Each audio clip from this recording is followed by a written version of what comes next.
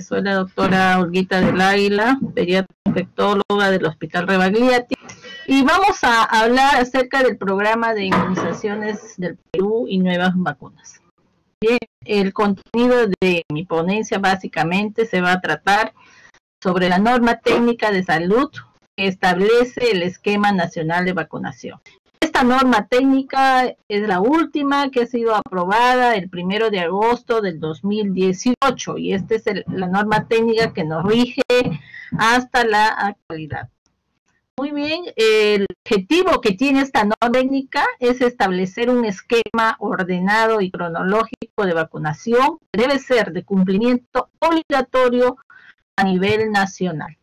Y eh, el ámbito de, de, aplicación vienen a ser todos los establecimientos públicos, o sea, MINSO, MINSA, gobiernos locales, de salud, la sanidad de las Fuerzas Armadas y de la Policía y privados.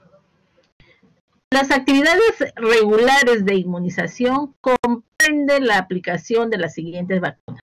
Vamos a revisar ahorita todas las vacunas que, nos da nuestro esquema nacional vacunaciones y vamos a hacer especial énfasis en la vacunación del niño menor de 5 años.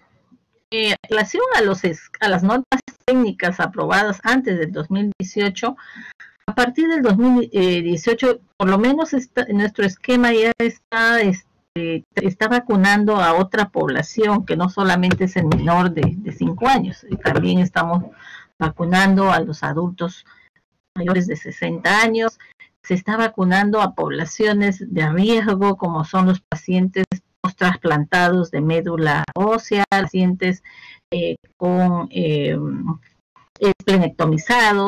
al personal, el personal de salud, ¿no? Eh, anteriormente sí hablaba del personal de salud, pero ahora se está dando énfasis con otra aplicación de otras vacunas. Y también a la población de riesgo como son los pacientes con VIH. Entonces, como les decía, esta clase sobre todo es, para dar énfasis en la vacunación del niño menor de 5 años.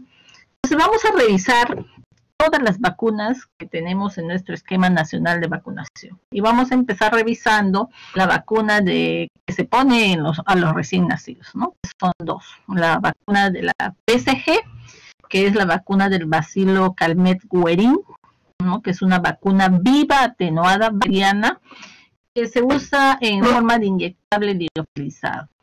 ¿Para qué se usa la BCG?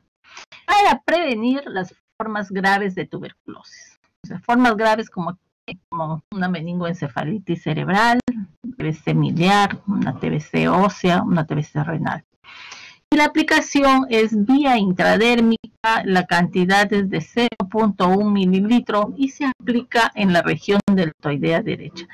¿En qué momento aplicarse? En las primeras 12 horas de vida o durante el primer año de vida, si es que por A o B no se pudo aplicar al momento del nacimiento o posal podríamos aplicar esta sin hacer ningún tipo de estudio en el primer año de vida. Pero si este niño ya tiene de 1 a 5 años, debemos descartar tuberculosis para aplicar la vacuna de la BCG.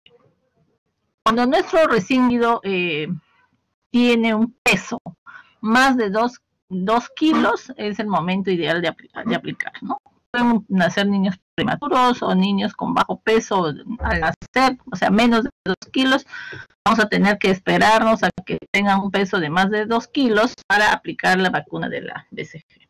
La otra vacuna que se pone al nacimiento es la vacuna de la hepatitis B, que viene en una monodosis en forma de inhable líquido ¿Y por qué se pone la vacuna de la hepatitis B? ¿No? Esto, por ejemplo, es, se pone en todos los países de, Latinoamérica, la gran mayoría de países de Latinoamérica, y es una conducta que también están siguiendo los países eh, desarrollados. Y se pone para prevenir la transmisión del virus de la hepatitis B. Recordemos que el principal mecanismo de transmisión de la hepatitis B, además de la por transfusiones y relaciones sexuales, la principal es la transmisión vertical.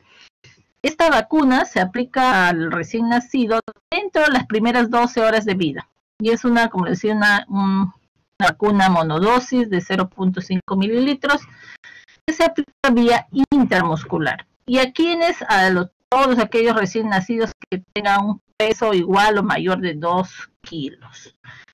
Si este bebé tiene menos de 2 kilos y tiene una madre con diagnóstico de hepatitis B con antígeno de superficie positivo para hepatitis B, independiente de su peso, yo tengo que aplicar la vacuna de la hepatitis B más la inmunoglobulina humana.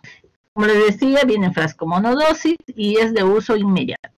En muchos hospitales, como en el, como en el mío, es, la aplicación de la vacuna de hepatitis B forma parte de la atención inmediata del recién nacido. Es decir, que el bebé sale de la sala de partos con su vacuna de la hepatitis B.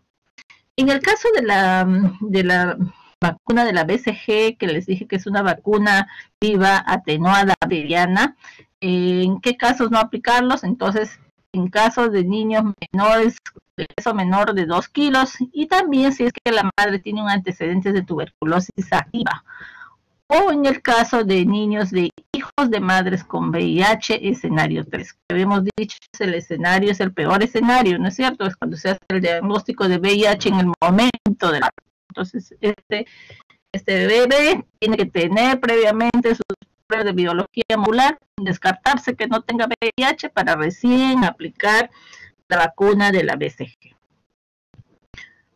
La vacuna que aplicamos a los dos meses es la vacuna pentavalente. En el segundo mes es el mes de, vida donde se aplican como ocho antígenos. Y acá tenemos una de ellas que es la pentavalente que viene en vacuna inyectable, líquida, y que es una vacuna pentavalente que protege contra cinco enfermedades. Difteria, pertusis o tos convulsiva, tétanos, una bacteria que se llama hemófilos influenza tipo B y el, virus de la hepatitis B. Entonces son cinco enfermedades y se aplican tres dosis de la pentavalente. ¿no? La primo vacunación consiste de tres dosis o sea, a los dos meses, a los cuatro meses y a los seis meses. Eh, ¿Cuánto se aplica? 0.5 mililitros y es vía intramuscular.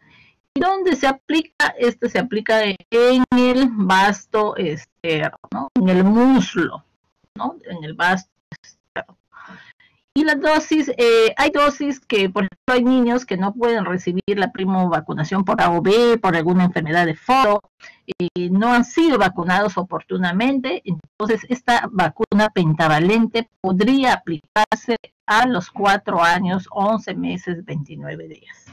Y después del año de edad, la vacuna ya no se aplica en el vasto externo, en el muslo, sino se aplica en la región del toldeo. Hay que tener en cuenta que si vamos a hacer, por decir, una puesta al día rápida de esta vacuna, el intervalo que debemos tener entre dosis y dosis es de dos meses. Vienen también un frasco monodosis y una vez eh, abierta la vacuna hay que aplicarlo inmediatamente.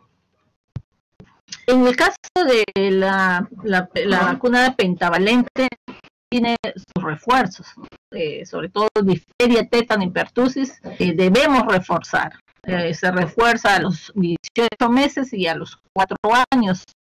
Esto se hace con la D, vemos D mayúscula, P mayúscula, ¿no? difteria, tétano y pertusis, que también viene en presentación y liga.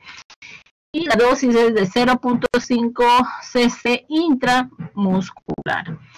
Eh, Miren ustedes, esta vacuna, la edad máxima que podríamos poner al 10 por A o B no puso a los 18 meses, a los 4 años, máximo que puede aplicarse hasta los 4 años, 11 meses, 29. Después de los 5 años hay una presentación que es de minúscula y mayúscula. ¿no? Acá vemos abajo de minúscula y mayúscula. Este es para los mayores de 5 años, ¿no? Eh, también podemos encontrar población que no se ha vacunado, sobre todo adolescentes que no han sido vacunados o antes que no han sido vacunados. Las dosis que se administran en ellos son de tres dosis, ¿no? Cero meses. Entre la segunda y la tercera dosis, un intervalo de cuatro meses. Y también encontrarnos en situaciones donde niños menores de 5 años que pueden presentar una reacción alérgica severa o anafilaxia a la primera dosis de pentavalent.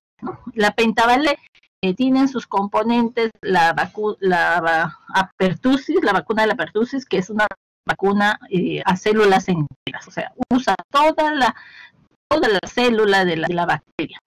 Y esta suele ser reactógena.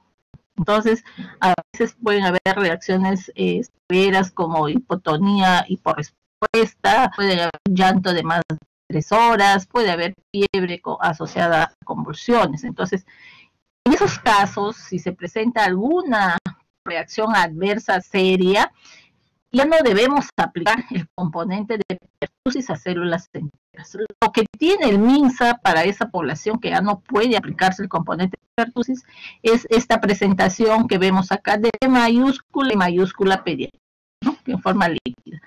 También se aplica pues eh, con intervalos de, dos meses, viene eh, en la dosis de 0.5 cc intramuscular. Eh, otra vacuna que revisaremos es la vacuna de la polio intramuscular. En el caso de la polio tenemos dos presentaciones, la polio intramuscular y la polio oral. La polio intramuscular que viene en presentación líquida nos va a proteger contra la poliomielitis, la, que es la cepa SALS y, SALC y protege los serotipos 1, 2 y 3. En este caso, nuestro esquema se pone a los meses y cuatro meses. Eh, viene eh, la aplicación es 0.5 cc intramuscular. Igual en el tercio medio de la cara anterior del vasto externo, ¿no? Del músculo, en el músculo. Y, la y el frasco viene en monodosis y es de uso inmediato. luego tenemos la presentación oral, que es este, en este caso es la cepa Sabin bivalente que tiene los serotipos 1 y 3. Y los refuerzos que se ponen son 6 meses, 8 meses y 4 años. ¿Qué cantidad? Son dos gotas vía oral. Desde el del 2013, eh, nuestro esquema de vacunación era solamente el uso de la polio oral, pero desde el año 2013, 15 de agosto, agosto de 2013, se hizo esta, esta este, este secuenciamiento de polio intramuscular y polio oral. Es así que desde el 2013 al segundo y cuarto mes se aplica la vacuna inactivada contra la poliomielitis. A los seis meses se pone la primera dosis del polio oral, a los 18 meses el primer refuerzo del polio oral y a los cuatro años el segundo refuerzo de la polio oral. Esto se está logrando que se haga a nivel de todo el mundo ya que el fin de la, ¿no? Es erradicar del mundo la, la, poliomielitis, sea poliomielitis eh, salvaje, felizmente la poliomielitis salvaje en, en, el mundo solamente se encuentra en, países, ¿no? Y sobre todo en, en, la zona de, de, Arabia, ¿no? Saudita y el África, tres países, pero mientras haya este, todavía tres países en el mundo que tienen polio salvaje, uno debe seguir este, protegiendo con, en esta forma, con la polio, unas dosis de polio oral. Y lo ideal es pues, que estas dosis sean ya sea la, la tercera, cuarta o quinta dosis. Pero sin embargo, para el 2023, lo que se quiere conseguir es que todos los países del mundo ya no usen eh, polio oral ¿no? sino que solamente sea la presentación intramuscular, ya que eh, se ha visto en los últimos años un incremento de casos asociados a la polio oral, o sea, polio asociado a la vacuna. Y este polio asociado a la vacuna, por lo general, era con la primera dosis de la vacuna del polio oral, ¿no? Por eso inicialmente se hizo este cambio. O sea, las primeras dosis tienen que ser intramuscular. Recuerden, ya que más o menos, si, si diéramos polio oral como primera dosis, que uno por cada un millón cuatrocientos de dosis aplicadas de polio oral, podríamos tener una reacción adversa de polio asociado. Entonces, todos los países del mundo actualmente tienen un esquema parecido a nosotros, que inicia con dos vacunas de polio intramuscular, o tienen una primera dosis de polio intramuscular. Pero recuerden, ya el, el objetivo del 2023 es que ningún país en el mundo use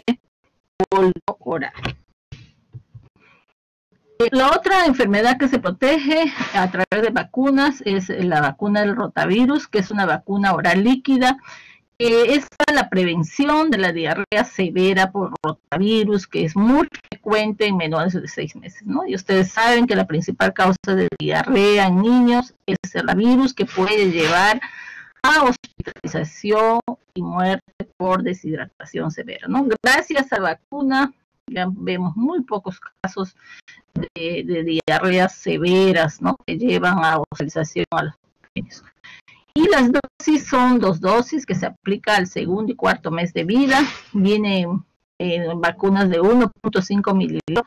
La primera dosis tenemos tiempo para aplicarle hasta los 5 meses, 29 días. Y la segunda dosis antes de los 7 meses, 29 días. Si pasa de esta fecha, sea, o sea, lo ideal, la primera dosis pues sea aplicada a los dos meses, ¿no? Pero también hay situaciones en que la OB no se podría yo aplicar esta primera dosis hasta los cinco meses, 29 días, y la segunda dosis, miren ustedes, hasta antes de los ocho meses. Si el niño escupe o regurgita, eh, la vacuna del rotavirus no debemos dar una dosis adicional viene en frasco de monodosis y es de uso inmediato. La vacuna que aplicamos también a los dos meses es la vacuna antineumocócica conjugada, que también viene inyectada líquida, y es para proteger contra los serotipos más comunes causantes de enfermedad grave por neumococo, ¿no? Enfermedad neumocócica invasiva, puede ser una neumonía complicada con variemia, o una septicemia o una meningoencefalitis por Y esta vacuna que actualmente ponemos es la vacuna conjugada 13 valente que protege contra estos 13 serotipos principales. Y esto lo aplicamos desde julio del 2015. Esta vacuna que se pone en el MINSA son vacunas de calidad y son las mismas que se aplican en la parte privada. Hasta los 12 meses, este, nuestro niño debe haber recibido tres dosis a los dos meses, cuatro meses y un refuerzo a los 12 meses de edad. La, la administración es intramuscular, igual en el vasto externo, y la dosis es de 105 cc. Entre los pro B también, si el niño no ha recibido la, vacuna a los 2, 4 y 12, 12 meses y está entre la edad de un año y 23 meses, 29 días, lo que se hace es aplicar dosis con intervalo mínimo de un mes. El intervalo mínimo en estas vacunas, si queremos hacer una vacunación rápida, el intervalo mínimo es un mes. Y después de los dos años, desde los dos años hasta los cuatro años, 11 meses, 29 días, que no han vacunado y son portadores de alguna comorbilidad, pueden ser niños con alguna nefropatía, una cardiopatía, niños con síndrome de Down o algún tipo de inmunosupresión, lo que se administra para esta edad de dos años a años 11 meses, una sola dosis de la vacuna antineumocócica. También, como les decía, viene en frasco monodosis y es de uso inmediato. Tenemos la vacuna contra la influenza pediátrica, porque tenemos la vacuna de influenza del adulto. En la caso, el caso de la vacuna de, contra la influenza pediátrica viene en presentación de 0.25 mililitros, ¿no? 0.25 mililitros. En cambio, la adulta de, de adulto es de 0.5 mililitros. Y viene en presentación líquida y nos protege contra la gripe, contra eh, influenza A, H1N1, H3N2 y una cepa de la influenza B que puede ser Victoria o Yamagata. Eso varía según el, el año. Y el grupo objetivo son los niños desde los 6 meses a los 2 años, 11 meses, 29 días. O sea, desde los 6 meses hasta antes de los 3 años de edad. Y la primera dosis lo aplicamos a los 6 meses y, una segunda dosis a los, siete meses. Es decir, para decir que un niño esté empezando su vacunación contra influenza y está bien vacunado, tiene que tener estas dos dosis con intervalo de un mes. La dosis, hemos dicho, 0.25 cc vía intramuscular en el vasto externo, ¿no? En el muslo. Eh, los niños de un año uh, hasta los dos años se pone una dosis igual de 0.25 mililitros y en este caso para todo niño mayor de un año ya es, en la región de, del doide. Viene en frasco monodosis y de uso inmediato. Eh, para los niños de tres años para adelante tengan alguna comorbilidad, eh, la aplicación es una dosis de 0.5 cc intramuscular en el músculo o en el músculo Recuerden, todo niño menor de 3 años, la dosis es 0.25 mililitros. Para niños mayores de 3 años es la misma dosis que se pone para el adulto, que es 0.5 mililitros. Eh, la, la vacuna de la influenza es una vacuna anual, ¿no? Se administra cada año. Pero para iniciar por primera vez en nuestros este, lactantes, en nuestros niños, deben ser con dos dosis. Ah, de ahí tenemos la vacuna de sarampión, rubiola y papera, conocida como triple viral, ¿no? Es una vacuna viva atenuada, viral, ¿no? Eh, es inyectable, liofilizada, nos protege contra tres enfermedades, ¿no? Sarampión, parotiditis y rubiola todo niño menor de 5 años tiene que tener dos dosis, que son a los 12 meses y 18 meses. La dosis es de 0.5 cc y se administra vía subcutánea en región deltoidea. ¿Sí? Aquellos que no hayan completado su esquema tienen para aplicarse hasta los 4 a 11 meses, 29 días. ¿Sí? Y recuerden que el intervalo entre dosis y dosis son 6 meses. Sarampión rubiola, también hay esta presentación. Eh, veamos, la anterior era triple viral, acá es solamente dos, sarampión y rubiola. Es para los niños mayores de 5 años que no recibieron la, y la aplicación es una para los mayores de 5 años, según nuestra norma técnica, una dosis. Esta vacuna, la, vacuna de la varicela, es una vacuna que, es nueva, se está aplicando desde el 2018 la cepa OCA viva atenuada, o sea, una vacuna viva atenuada, eh, que aplica a todos nuestros niños a partir de los 12 meses de edad hasta los 2 años, 11 meses, 29 días. La dosis es 0.5 cc vía subcutánea en la región del deltoidea. Recuerden, todas las vacunas que se administran al niño mayor de 12 meses ya son en la región deltoidea. Y vienen en frasco monodosis y ideal es que se administre simultáneamente con otras vacunas vivas que se ponen al año de edad, ¿no? Que es sarampión, rubiola y, papera. Si por A yo no pusiera estas dos vacunas al, año de edad, el intervalo que debe haber entre sarampión, rubiola y papera y varicela es de un mes. Lo ideal entonces es administrar juntas o separadas de un intervalo de un mes.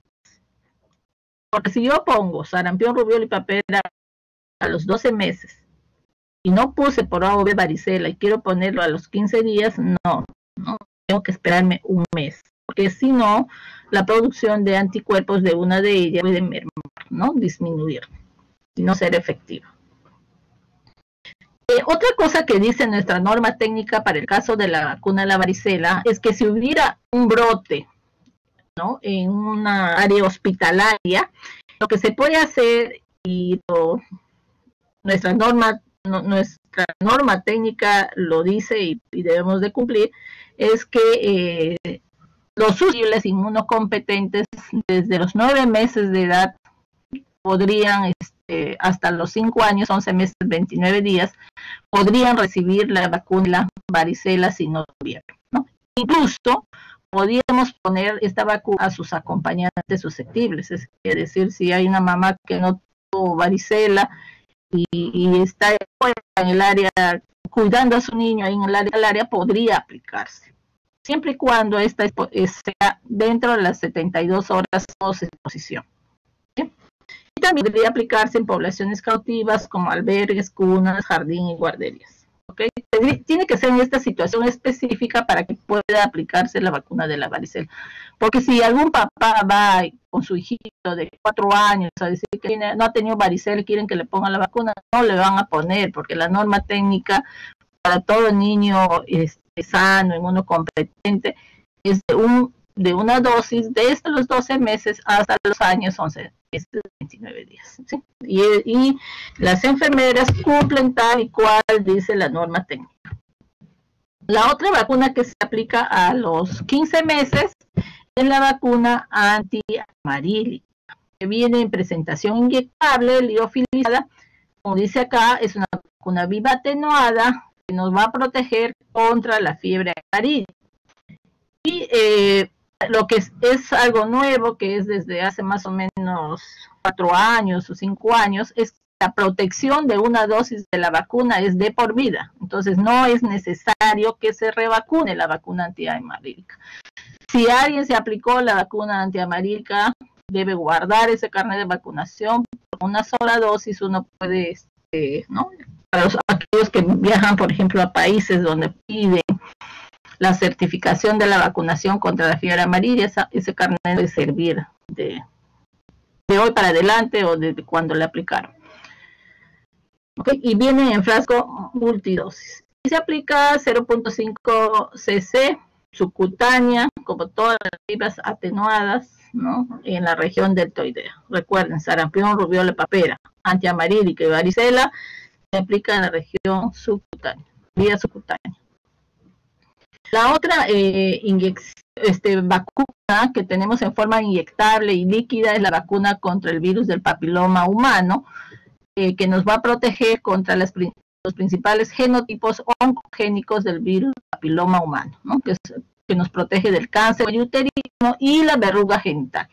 Es tetravalente y tiene protege contra estos tipos 16 y 18 que son los productores de cáncer de cuello uterino, 6 y 11 de verruga genital viene en dos dosis, eh, viene para darlo en dos dosis a nuestras niñas de 9 años, igual, ¿no? Desde los 9 años hasta los 13 años, 11 meses, 29 días.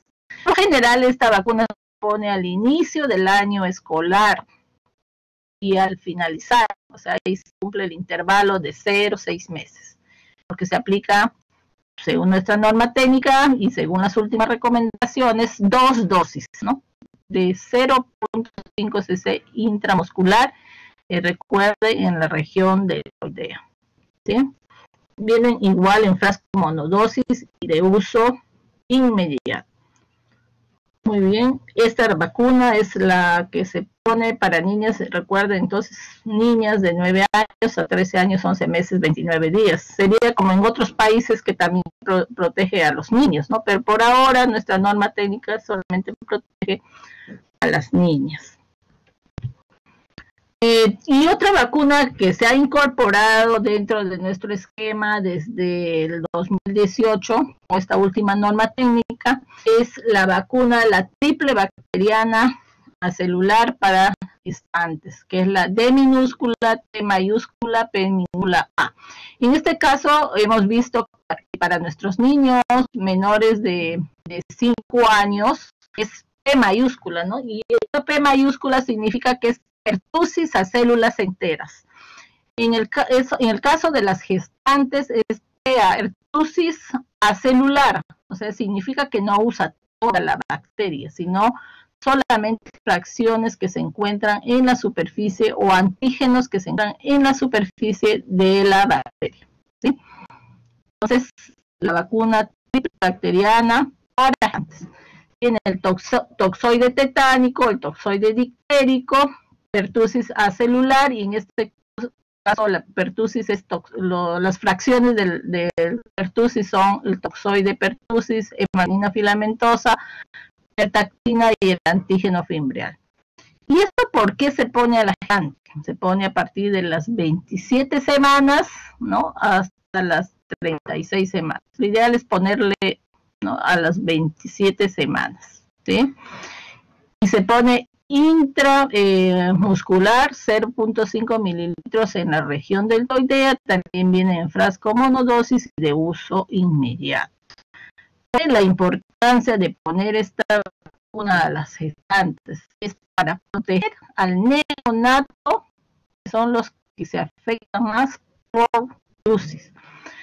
Recuerden que la vacunación de pertusis recién se inicia a los dos meses de edad con la pentavalente, y a los y son una prima vacunación de tres dosis, dos, cuatro, seis meses. Entonces, nuestro niño menor de dos meses totalmente desprotegido contra las dos convulsivas son y son los principales mm, este, grupos etarios que fallecen por esta enfermedad de la convulsiva, ¿no? Son eh, causa de muerte, causa de hospitalización.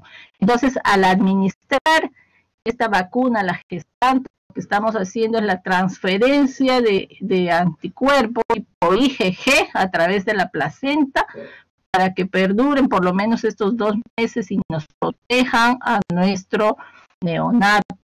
Y esta vacuna se pone las veces que la gestante salga gestante. ¿no? O sea, si por ejemplo dio a luz hoy este, este año, este mes, y sale de acá un año y medio otra vez embarazada, igual le protegemos con la vacuna eh, triple bacteriana celular, ¿no? Desde las 27 semanas de estación. Entonces, si repasamos las vías de administración de nuestras vacunas, tenemos vacunas eh, que se administran vía oral, ¿no? Y ahora tenemos la vacuna de la polio oral, ¿no? Se pone la primera dosis a los seis meses y el primer refuerzo a los 18 y el segundo a los cuatro años. Y tenemos la vacuna contra el rotavirus, que son viales monodosis, que se aplica al segundo y cuarto mes. Vía parenteral, tenemos la vía intradérmica, la única que se aplica vía intradérmica 0.1 eh, mililitro en el hombro derecho es la vacuna de la BSG. Vía subcutánea, recuerden, las vacunas anti, este, eh, son contra virus vivos atenuados, ¿no? Tenemos la antiamarílica, sarampión, rubiola y papera, sarampión, rubiola y la vacuna de la varicela. Y la gran mayoría de las vacunas son vía intramuscular y tenemos ahí la vacuna de la polio intramuscular que empezamos, recuerden, a los dos meses y cuatro meses. Tenemos la vacuna antineumocósica, que ponemos una dosis a los dos, cuatro meses y el refuerzo a los 12 meses. La pentavalente, ¿no? La prima vacunación eh, con pentavalente, que es a los dos, cuatro y seis meses. Y tenemos las presentaciones para refuerzo, que es la DP o la DT, o DT de mayúscula, T mayúscula, y la DTPA con la gestante. También tenemos la vacuna de hemófilus influenza tipo B, monodosis, para el caso de algún niño que presentó alguna reacción a la severa a la pentavalente. Recuerden, al no poder recibir las cinco, van a tener que el pobre bebé recibir más, más inyecciones, ¿no? Separar lo que es DT por una parte, hepatitis B por otra parte, eh, polio, este, influenza B por otra parte, ¿no? O sea, son como cuatro vacunas por separado que se tiene que aplicar en el caso de reacciones adversas serias. Lo otro sería pues aplicarle las vacunas hexavalentes que vienen o pentavalentes con pertusis celular, pero eso no se encuentra en, en el MIDA ni en salud, ni en el salud, ¿no? Eso hay que este, comprarlo en forma privada. Pero esto yo le presento todo lo que da el, Ministerio de Salud o este o eh, salud o fuerzas armadas y policiales. La otra, este, vía intramuscular, la otra vacuna es contra la influenza, tenemos contra el BPH y contra titis Recordemos acá, eh, dentro de las vacunas, eh, tenemos, si contamos de las vacunas que aplica nuestro esquema nacional de vacunación son 17 antígenos diferentes. Son 17 antígenos diferentes que protegen como más de 26 enfermedades. Eh, dentro de las vacunas vivas atenuadas tenemos 8, ¿no? Una, la primera que es la BCG, que es una vacuna viva atenuada bacteriana, ¿no? la de Bacilo Calmet Guerin. Y las virales son siete, son la vacuna del rotavirus, la vacuna de la polio oral, sarampión, rubiola y papera, varicela, fiebre y el resto eh, son vacunas inactivadas o muertas, ¿no? Inactivadas significa que los han inhalado con el calor o con formaldehído.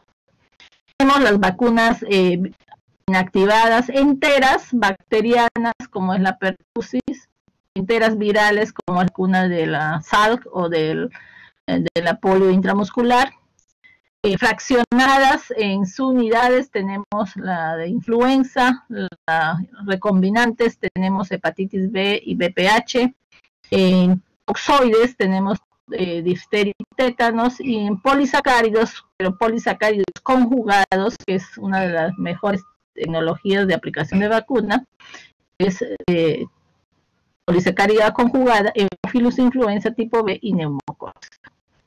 Recuerden que las vacunas que se aplican en el Ministerio de Salud son vacunas eficaces, seguras y de calidad. En cuanto a la administración simultánea de vacunas, no existe ninguna contraindicación para la administración simultánea de múltiples vacunas. Recuerden que a los dos meses y cuatro meses nuestro niño recibe ocho antígenos diferentes, ¿no? Tres inyectables y una oral.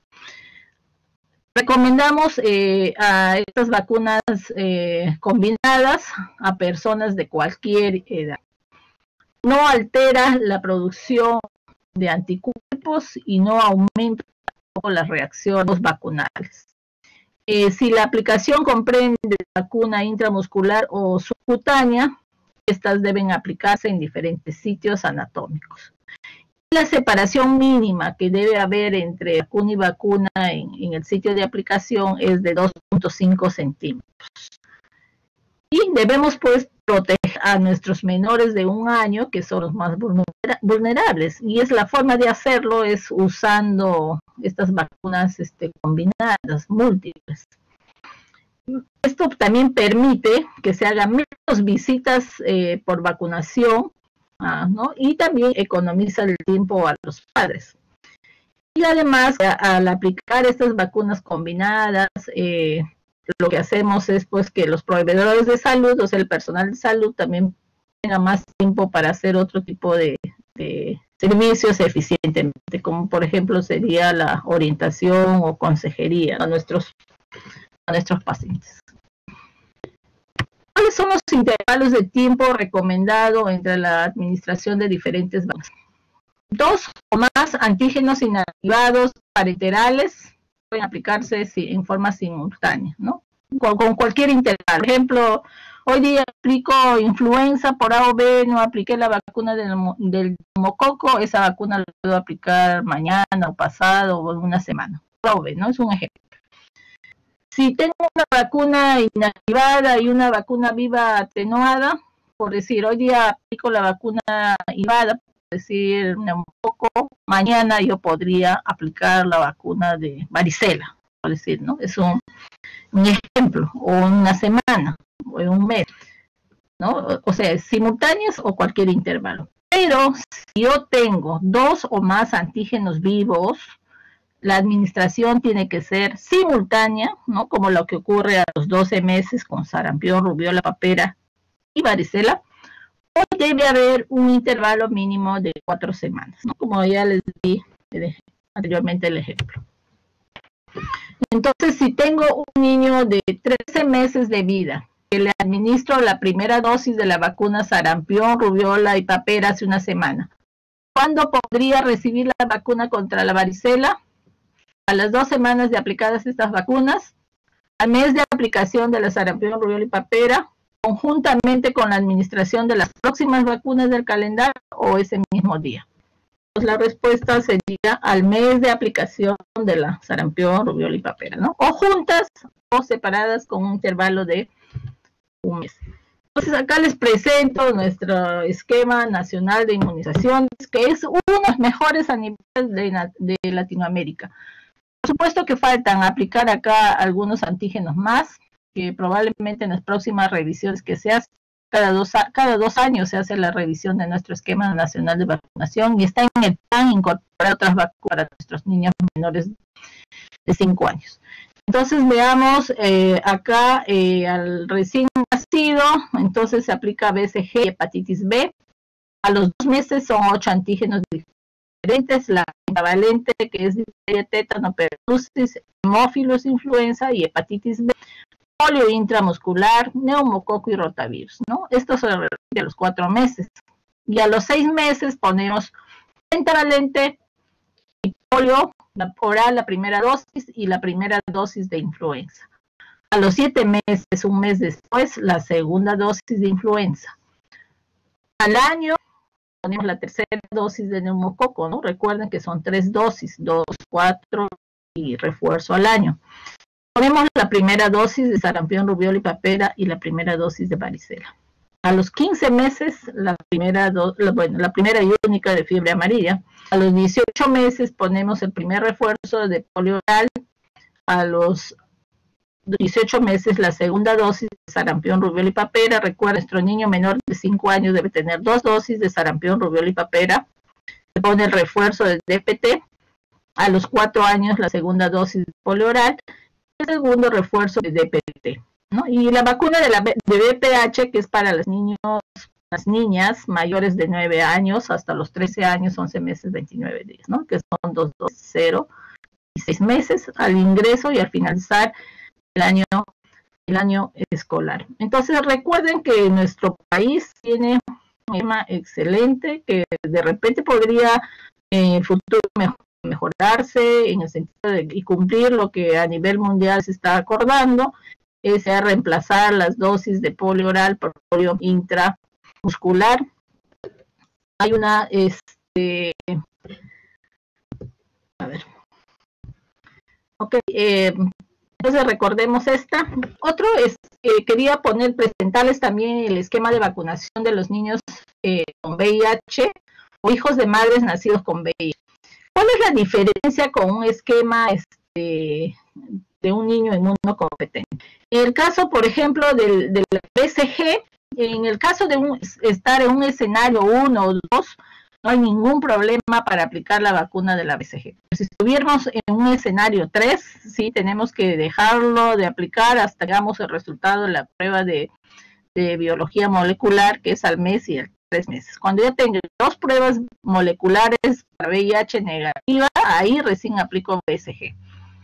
Después, eh, en el caso de, rotavirus, no tendríamos ningún problema. Además, tenemos beneficios porque vamos a prevenir este, diarrea por rotavirus en nuestros niños.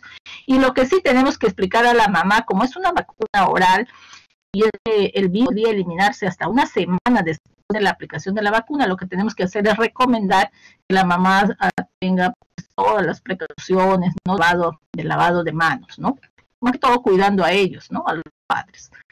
Y lo otro es que no debe aplicarse polio oral, ¿no? En este caso, la prima vacunación son tres dosis de polio intramuscular y sus refuerzos a los 18 meses y a los 4 años. Entonces, nuestro hijo de madre con VIH o con niño con VIH son dosis de polio intramuscular. Recuerden que la vacuna de polio oral no puede ponerse en ningún paciente con inmunosupresión primaria o secundaria. Secundaria por VIH, sobre todo, ¿no? No aplicarlo porque esta vacuna, al ser oral a nivel intestinal, podría mutar y convertirse en un polio, ¿no? Un polio salvaje y mutar y, producir la polio asociada a la vacuna. Es una reacción adversa, pues, seria, grave, no deseable. Entonces, recordar polio intramuscular. Después, eh, nuestros niños con, con VIH, a diferencia de los niños inmunocompetentes, debe recibir dos dosis de varicela al año y a los 18 meses. Esa sería la, la, diferencia. Eh, ¿Qué vacunas faltarían por incorporar dentro de nuestro esquema nacional de vacunación? Sería la vacuna de la hepatitis A. Esta vacuna la vamos a revisar también adelante en las clases que vamos a realizar sobre hepatitis. Esta es una vacuna inactivada que se puede aplicar desde los 12 meses de edad y lo ideal es que tenga dos dosis al un intervalo de seis meses, pero se ha visto la experiencia en países este, latinoamericanos como Uruguay, Argentina, que han ingresado en su esquema nacional de vacunación a los 12 meses con una dosis, se ha visto una gran disminución de los casos de hepatitis A y sobre todo de los trasplantes hepáticos. Recuerden que la hepatitis A es, la, es el virus que produce una insuficiencia hepática que puede llevar a encefalopatía hepática y a muerte. Entonces, de ahí la importancia de vacunar contra este virus de la hepatitis A. Eh, les mencionaba, esta es una de las vacunas que se contempla incorporar a nuestro esquema de vacunación. Y la otra vacuna que se podría administrar y en la parte privada se recomienda a todos los niños eh, mayores de nueve meses la vacuna antimeningocócica. Sobre todo los adolescentes, ¿no? A los 11 años y 16 años se recomienda una dosis de la vacuna antimeningocócica, pero en algunos hospitales actualmente lo están administrando solamente a sus pacientes con factores de riesgo, ¿no? Eso por lo menos es una vacuna que hay que considerar que hay, hay que proteger, por ejemplo, con la vacuna antimeningocócica a pacientes que son esplenectomizados, pacientes con VIH, eh, pacientes trasplantados, o sea, es una vacuna a considerar. nuestras coberturas de vacunación, eh, para enero del 2020 habíamos cerrado con una buena coberturas de vacunación que iban por el orden del 90%. Sin embargo, este, con esto de la pandemia, nuestras coberturas realmente se han ido abajo. Eh, ahorita tenemos más de 600 mil niños eh, menores de un año que no han sido vacunados. Hay este, también niños menores de 5 años que no han sido, que no han recibido sus refuerzos. Hay este, niñas de 9 años para adelante que no han sido inmunizadas contra VPH y es por razones de la pandemia. Y esto en nuestra cobertura se ha ido a 33%. Realmente estamos muy bajo y yo quiero este, llamarles a ustedes, ya que el próximo año, Dios mediante, harán su internado y recuerden que la solicitud del carnet de vacunación a la madre ¿no? Tenemos que poner al día y aprovechar esos momentos que vemos a nuestros niños para mandar a poner al día su carnet de vacunación. Tenemos que pedirlo en forma obligatoria. Todo niño menor de 5 años que ustedes vean, no se queden contentos con que la madre les diga sí está con sus vacunas completas. No, tenemos, como dicen, ver para creer, ver el carnet de vacunas, ver falta y poner al día. Recuerdan que en ese mismo día de, que lo ven a pacientes se pueden poner varias vacunas a la vez tenemos que ponernos al día y ese es un esfuerzo no solamente del personal de, salud que actualmente se está ingeniando pues para ver la forma como llegar a, la población y actualmente tenemos ya una, una jornada que se llevó a cabo, hay dos este, jornadas pendientes para noviembre y diciembre, lo que se quiere pues es, es llegar de esos 36, 33% aproximadamente aproximadamente llegar a un 66% a finales, a diciembre. Entonces yo creo que es tarea de todos inmunizar a nuestros niños. En este momento yo les hablo de este grupo etario importante. Recuerden que gracias a la vacunación no tenemos enfermedades que pueden causar morbilidad y muerte.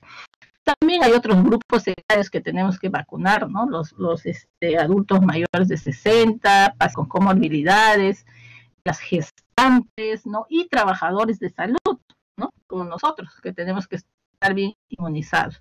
Miren ustedes, pues, el esfuerzo que se hace para llegar a todos los rincones del Perú para inmunizar a nuestros niños. Miren, se llega en burros, se llega en canoa y se pone, ahora tiene que ser pues toda la vacunación al aire libre y manteniendo todas las medidas de, bio, de bioseguridad. Entonces, gracias a nuestro esquema de vacunación y gracias al esfuerzo de muchas, muchas personas, ¿no? Vemos que eh, la poliomielitis, tuvimos el último caso en el año 1991 en Pichanac y de en 1994 94, con este último caso se declaró las Américas libre de polio, eliminada el polio en las Américas. El último caso autóctono de sarampión fue en marzo del 2000. Hemos tenido casos de sarampión que han sido sarampión importado y en el año 2018 tuvimos 42 casos, pero ha sido importado de Venezuela y de Europa.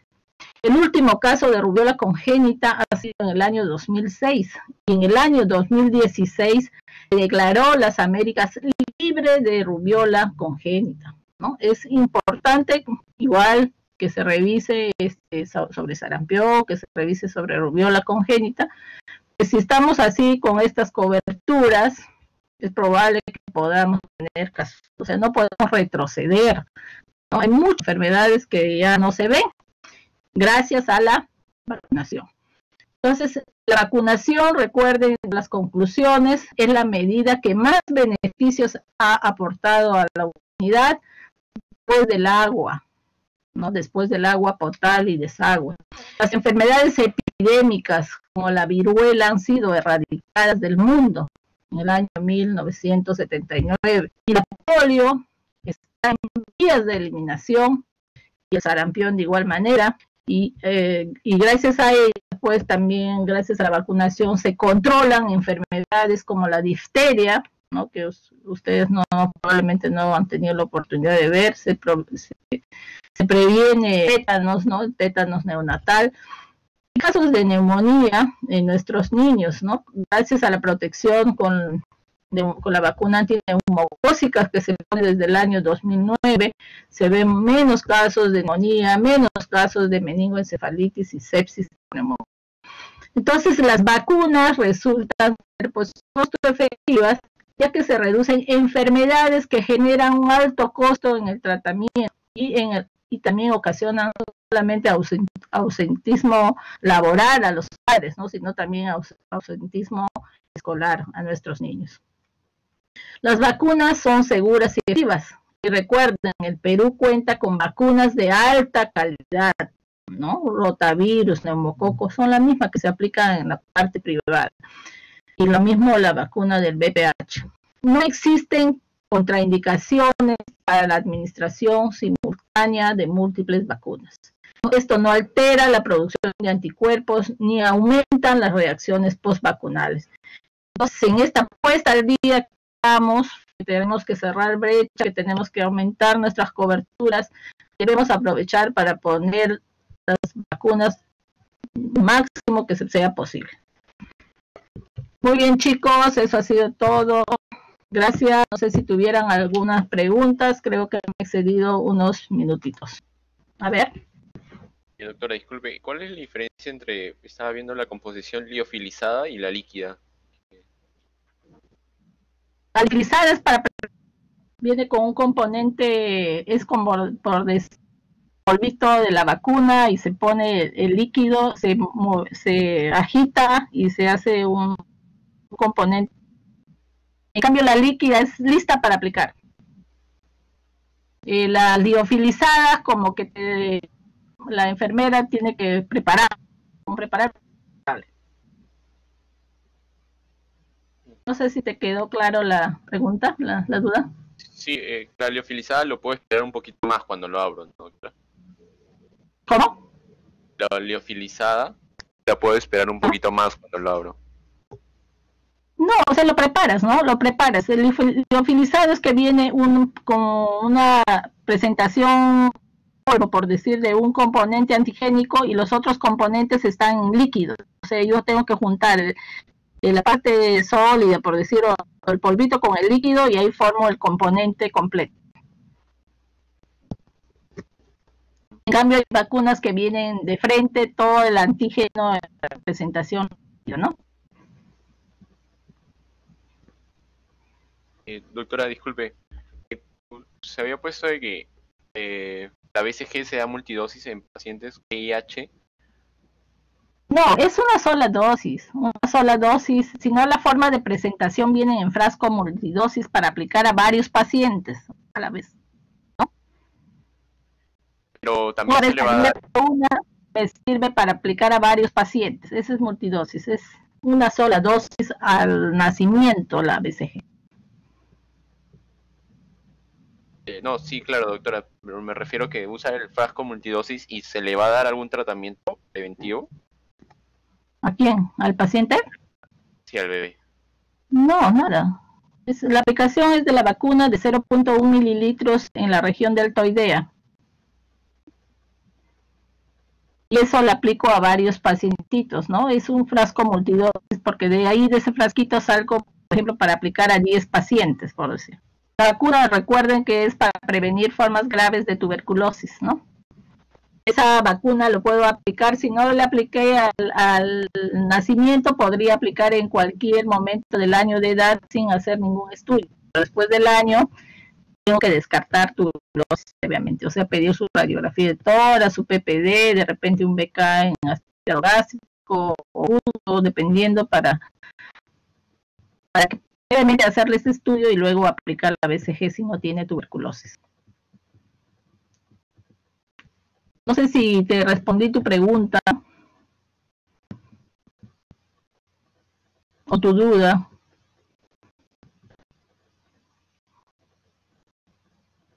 Sí, doctora. Creo que no, no me bien. Es que... ¿Cómo? No, doctora, así nomás. No, no, no, no, pregúntame, ¿no? Si tienes alguna duda, no, no quedó, de repente no te entendí. No, no, formular porque, o sea, cuando, si estoy entre 1 a 5 años, tengo que descartar tuberculosis así. Sí, es que no ha recibido. Y ahí voy a dar el eh, algún, este, si tuvo un, eh, un contacto con algún no, no, primero, mira, si tuviera tuberculosis o un, este, o fue un contacto de tuberculosis, voy a dar profilaxis y otra, y después que trato, unos tres meses después, vuelvo a hacer un PPD, o sea, si estoy dando tratamiento profiláctico, me refiero, ¿no? Eh, hago un PPD para ver si ha viró o no, y dependiendo de ello, aplico la vacuna de la BCG si te refieres a eso. Claro, en caso yo, si primero lo que tengo que hacer es la T y luego aplicar la, en este caso ya, le, tiene TB, pues no tengo, tengo que dar el tratamiento para la tuberculosis, ya no tendría mayor beneficio aplicarle la vacuna de la BCG, porque la vacuna de la BCG para prevenir sobre todo formas graves, ¿no? Ok, doctora recuerda, la vacuna de la BCG no es para que no le dé TB, ¿no? Porque si está en un ambiente donde los padres o familiares son tuberculosos activos, o sea, hay riesgo de que le dé tuberculosis. Lo que uno es que si le da tuberculosis, no le dé las formas graves, ¿no? Que no le dé semiliar, que no le dé una TB meningio. No sé si aclaré tu duda. Sí, Gracias. Ok. ¿Alguna otra pregunta? Vamos por terminada la teoría, si no hay alguna pregunta.